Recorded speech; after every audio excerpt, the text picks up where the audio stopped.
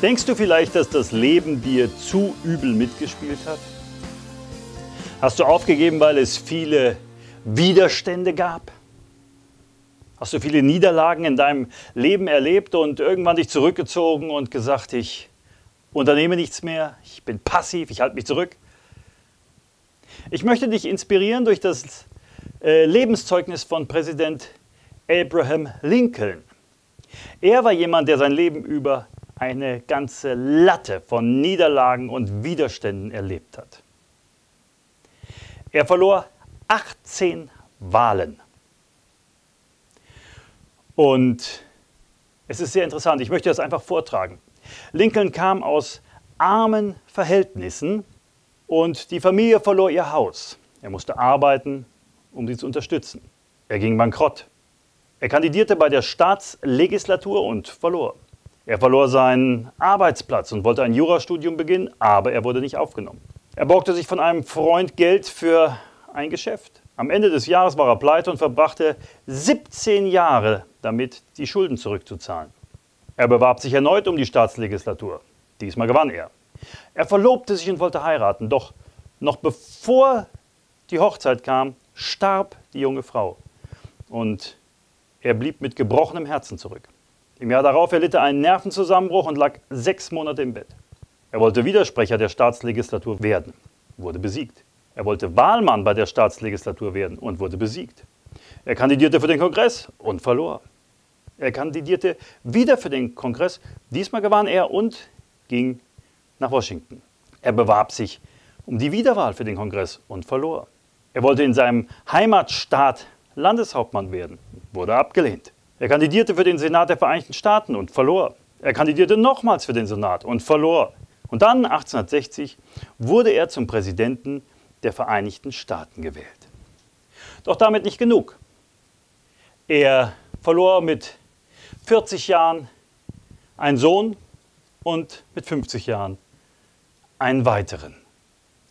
Und bei dem Sezessionskrieg, wo es um die Befreiung der Sklaven ging, um die Abschaffung der Sklaverei, da stand die gesamte Verwandtschaft, die von seiner Frau kam, auf der Seite des Gegners.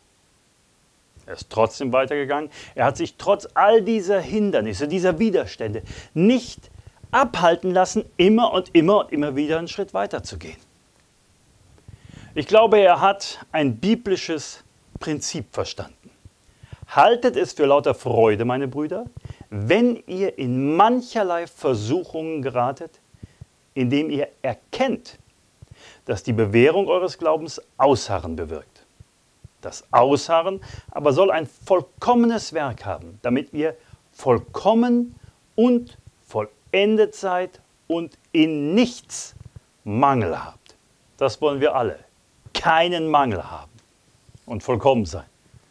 Das ist etwas, wenn wir dranbleiben, wenn wir ausharren, wenn wir weitergehen und wenn wir zulassen, dass diese Lebensschule uns wirklich weiterbringt.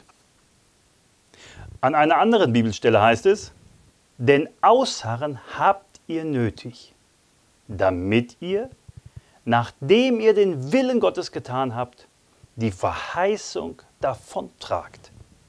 Wenn Gott in deinem Leben etwas verheißen hat, was er tun will, dann brauchst du dieses Ausharren, dieses Dranbleiben, dieses nicht lockerlassen, dieses einfach dem Gefühl von Aufgeben und von Niederlage widerstehen, um tatsächlich diese Verheißung zu erlangen. Gib nicht auf. Das, was Gott in deinem Leben tun möchte, ist nichts Kleines. Es ist etwas, was wirklich nur von ihm kommen kann. Und es ist logisch, dass da Widerstände ist, dass da Probleme sind, dass da Versuchung ist. Und du musst diese Dinge überwinden, um in das Große hineinzukommen, was Gott durch dich tun will. Gib nicht auf, bleib dran und lass dir dieses Beispiel von dem Lincoln wirklich ein Zeugnis sein. Denk mal an Thomas Alpha Edison. Das war ganz ähnlich. Hunderte und hunderte von Versuche hat er gemacht, bis er endlich den Durchbruch hatte mit seiner Glühbirne. Und er hat gesagt, jeder gescheiterte Versuch ist ein Schritt weiter zu dem Endergebnis.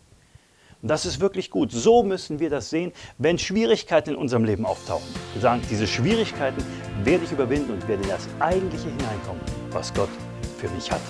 Und ich sage dir, Gott hat mehr für dich.